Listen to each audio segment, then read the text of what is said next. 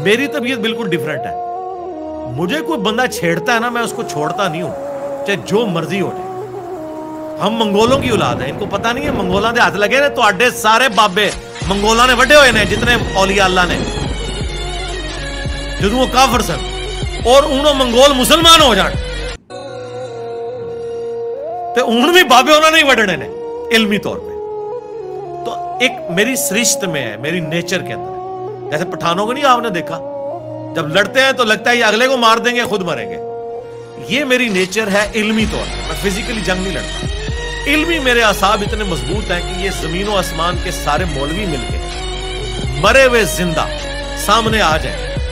अल्लाह के फजल से मैं जो कुरान सुन्नत में बिलीव रखने वाला हूँ ना, मुझे ये मुतजल नहीं कर सकते। मैं इनकी एक एक बात का जवाब दूँगा।